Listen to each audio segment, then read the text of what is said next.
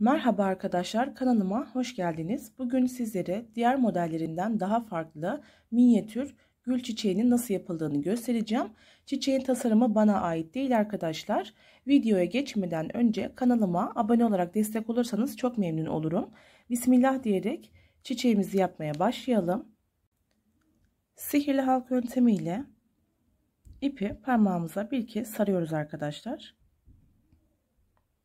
Ve düğüm atıyoruz.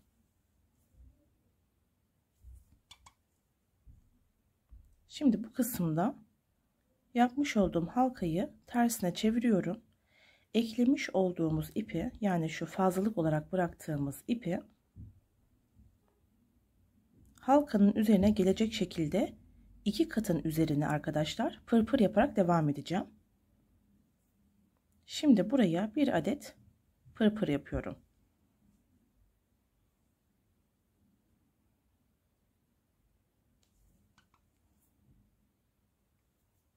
Şu boyut yeterli olacak.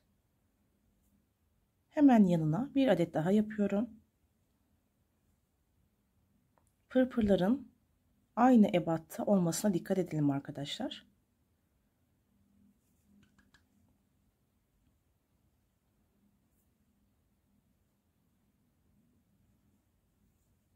Yanına bir adet daha yapıyorum.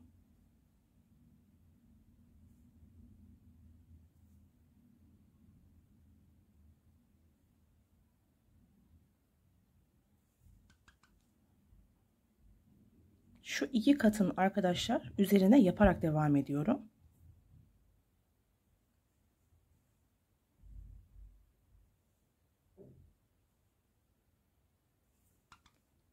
Dördüncü pırpırımı yaptım. Şuradan iğnemi şu yapmış olduğumuz halkadan geçiriyorum.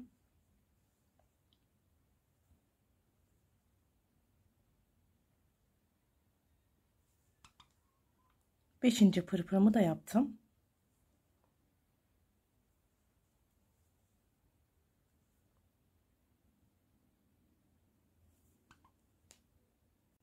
Bu şekilde toplamda 19 adet pırpırı olana kadar devam edeceğim. Evet arkadaşlar 19 adet pırpırımızı tamamladık. Şu başlangıçtaki fazla bırakmış olduğumuz ipi şu motifimizin orta göbeğinden tutarak çekiyoruz arkadaşlar. Çektikten sonra zaten pırpırlarımız sıra e, yuvarlak sıralı bir hal alıyor.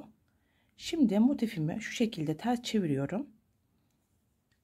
Son yapmış olduğum pırpırdan arkadaşlar şu kısım tepelerine zürafa yaparak bir sıra döneceğim.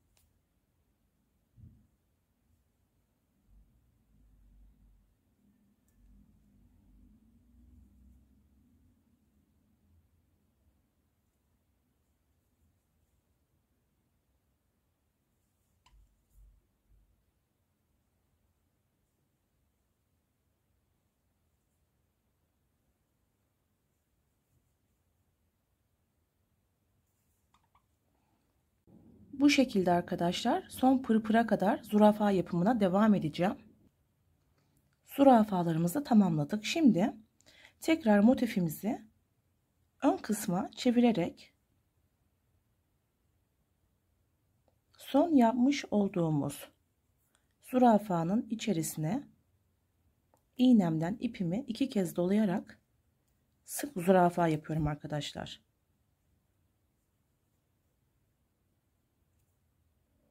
3 adet ya da 4 adet ben bu gül motifimde 3 zürafa kullanacağım. Sizler 4 adet de yapabilirsiniz. Şimdi 3 sık zürafamı yaptım. Hemen yandaki zürafaya düğüm atarak geçiş yapıyorum. Geçiş yerimde de ipimi iğnemden iki kez sarıyorum arkadaşlar. 1 2 3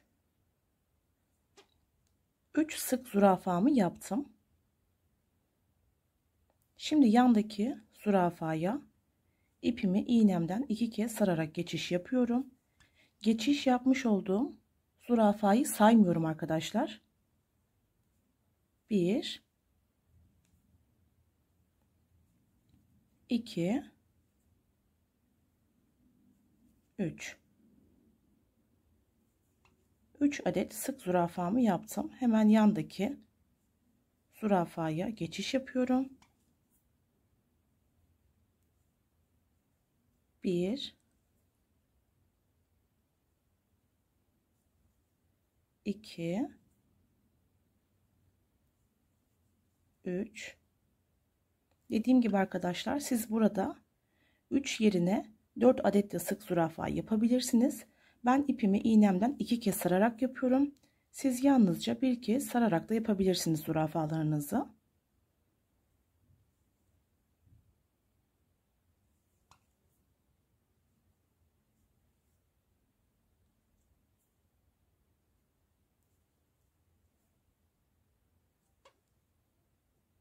Hemen yandaki zürafaya geçiş yapıyorum.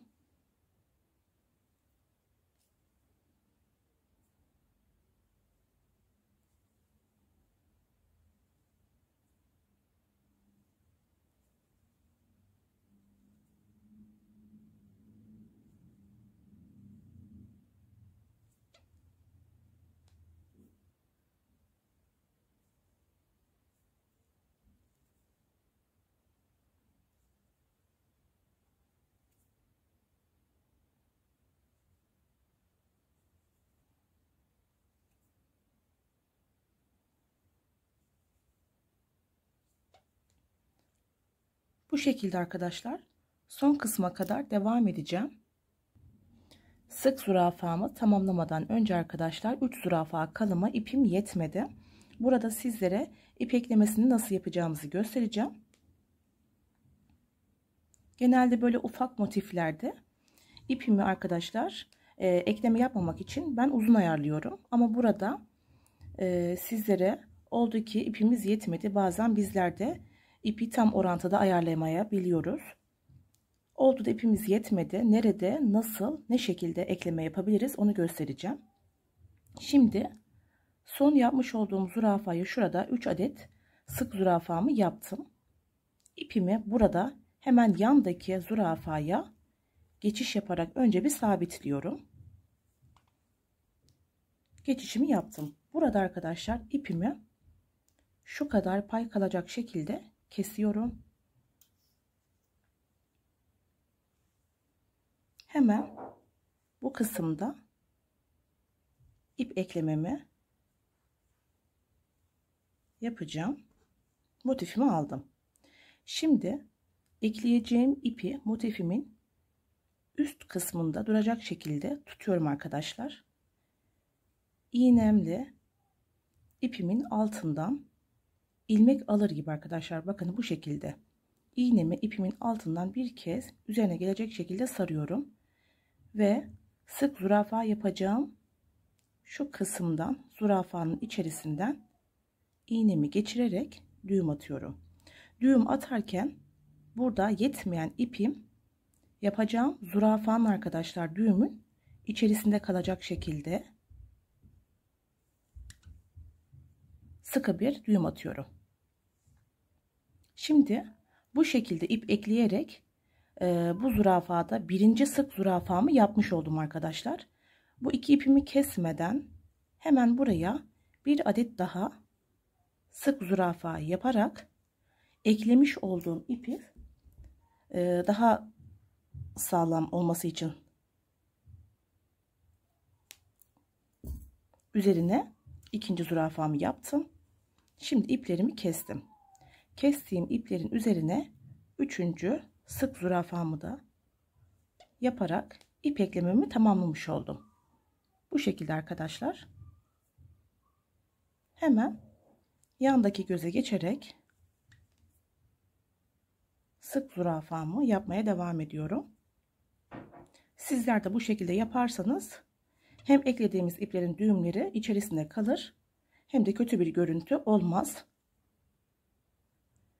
Son zürafaya geldik arkadaşlar.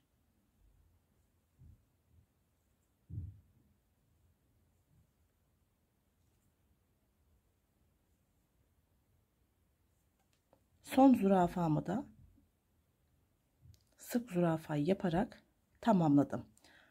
Bu kısımda motifimizi tamamladık arkadaşlar. Şimdi artık modelimizi gül şekli vermeye başlayacağız.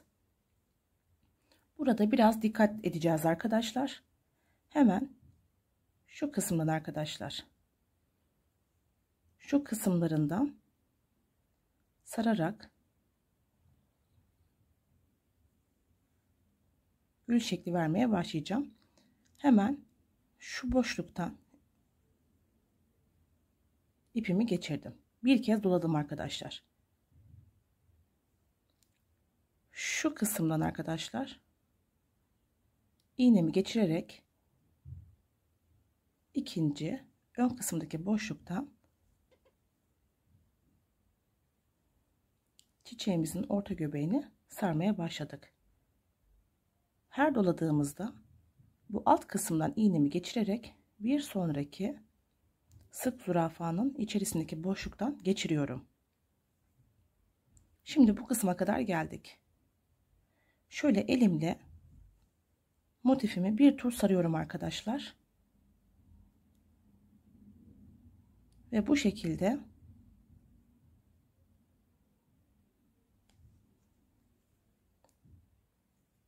iğnemi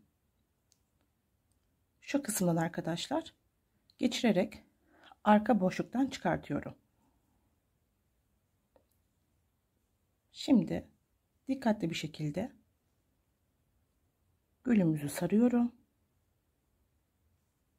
Sardıktan sonra ipim bakın bana bakacak şekilde ön kısma gelecek. Dilerseniz iğnenizi direkt motifin içerisinden geçirin. Dilerseniz de direkt şu ara boşluktan geçirerek de ipimiz burada alt kısma gelecek şekilde sarabiliriz. Şimdi iğnemi motifin orta kısmından geçirerek ön kısmı çıkartıyorum.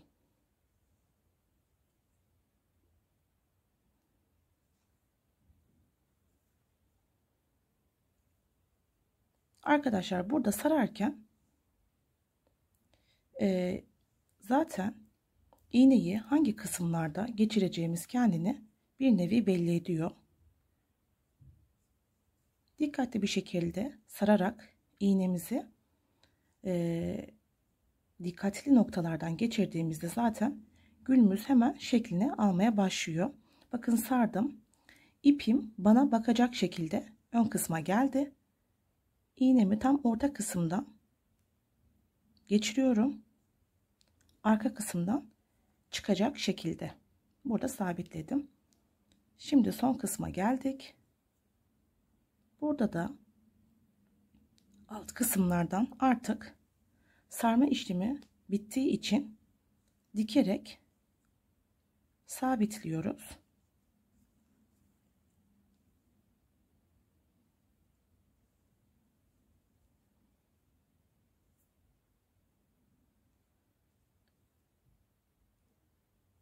Birkaç noktadan geçerek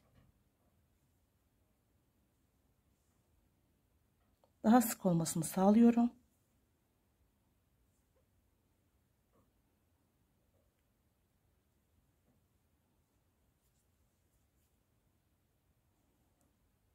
Bakın arkadaşlar. Hemen zaten şeklini alıyor minyatür gülümüz. Şimdi dikme işlemini tamamladık. İpimi bu noktada 1, 2, 3, 4, 5, 6 kez sardım arkadaşlar. 3 kez de sarabilirsiniz. Bu sarmayı artırabilirsiniz. Sardıktan sonra hemen orta kısımdan ipimi iğnemle alt kısma indireceğim arkadaşlar.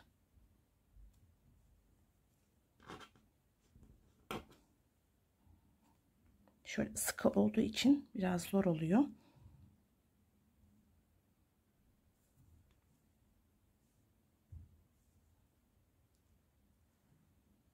Alt kısma indirdim. Bu kısım böyle oluyor arkadaşlar.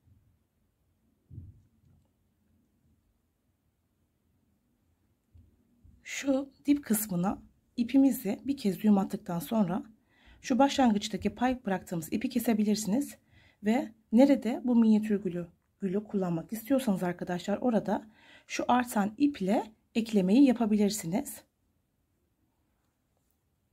Gülümüzü tamamladık arkadaşlar. Minyatür gül çiçeğinin yeşil yapraklarının nasıl yapıldığını göstereceğim. Sihirli halka yöntemiyle parmağımızda 6 adet zürafa yapıyoruz. Zürafalarımızı yaptıktan sonra başlangıçta bırakmış olduğumuz ipi çekerek zürafalarımızı bir araya topluyoruz.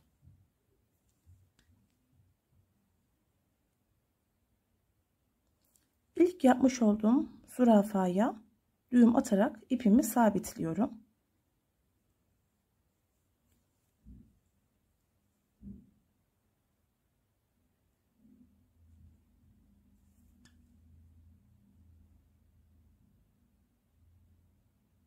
Şimdi her bir zürafaya iğnemle batarak bir sıra etrafından zürafa yaparak döneceğim.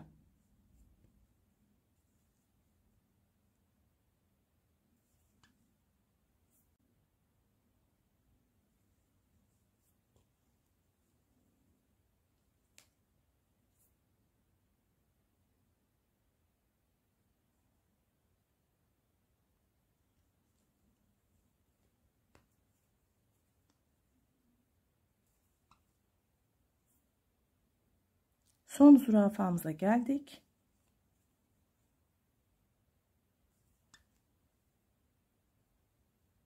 Altı adet zürafamızı tamamladık. Şimdi bu aşamada yapmış olduğumuz bu küçük motifi ikiye katlıyoruz arkadaşlar. Ve zürafa yaparak etrafından dönüyoruz.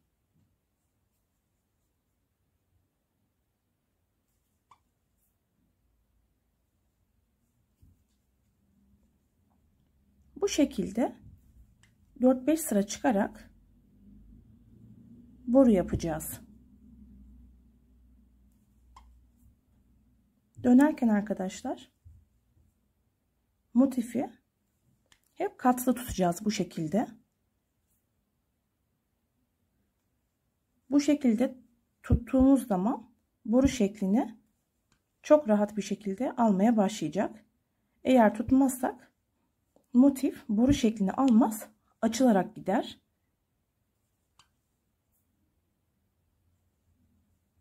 Ben boyunu 4-5 sıra yapacağım. Sizler yapacağınız gülün kök kısmına göre ayarlayabilirsiniz.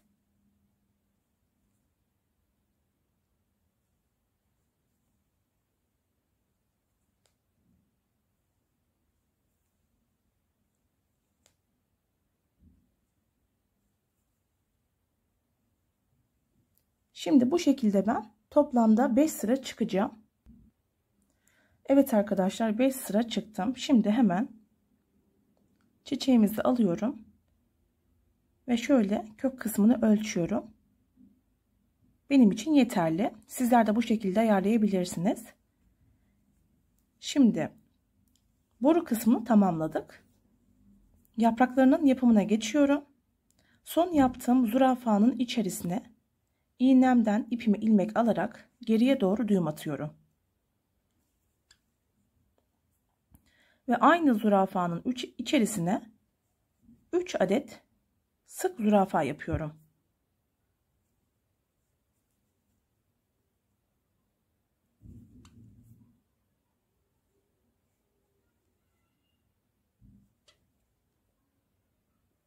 Tekrardan ipimi ilmek alarak ilk yaptığım zürafaya batıyorum.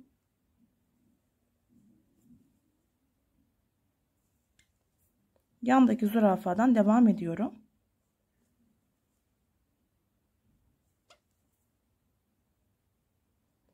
3 zürafa ile başladık. 2 1 yaparak eksiltiyorum. Tekrar başa dönüyorum.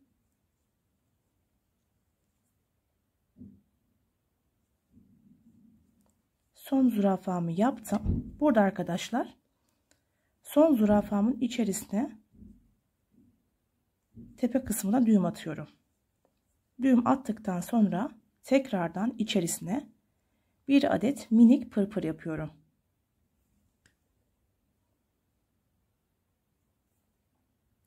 Yapmış olduğum pırpırın içerisinden iğnemi geçirerek tepe kısmına düğüm atıyorum. Ve birinci yaprağımı tamamlamış oldum.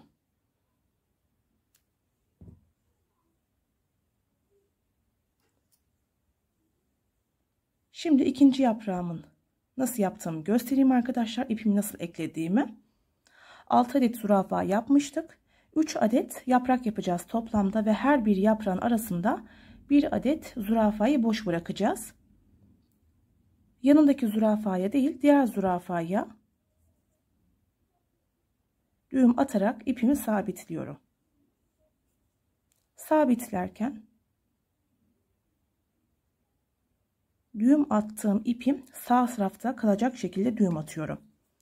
Ve bu kısmı arkadaşlar kesmiyorum. Şimdi üzerine 3 adet sık zürafa yaparak düğüm attığım ipimi alt kısmında gizliyorum. Hem bu sayede yapmış olduğumuz düğümler daha sık oluyor.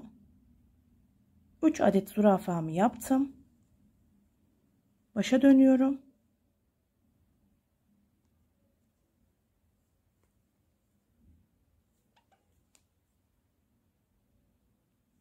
Zürafa sayım 2 adet kaldı. Tekrar başa dönüyorum.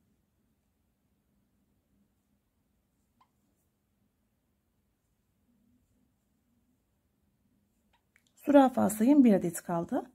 Bir adet kalan zürafamın içerisinden tekrar iğnemi geçirerek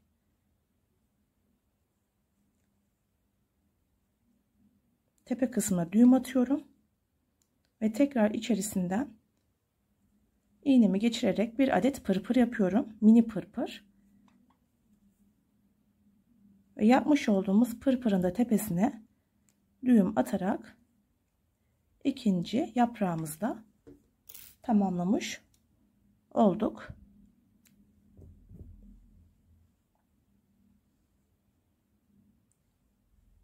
Ve şimdi üçüncü yaprağımı da yapıp geliyorum hemen. Üçüncü son yaprağımızı da yaparak çiçeğimizin yeşil yapraklarını tamamlamış olduk. Çiçeğimizin ipini iğnemden geçirdim. Şimdi tam orta kısımdan iğnemi geçirerek çiçeğimi yeşil yaprağın borunun iç kısmına yerleştiriyorum.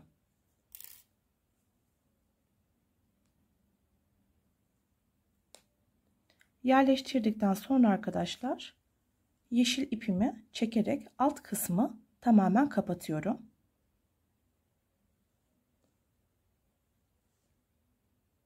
Motifimizi tamamlamış olduk alt kısımda düğüm atarak çiçeğimizi istediğimiz yerde rahat bir şekilde kullanabiliriz.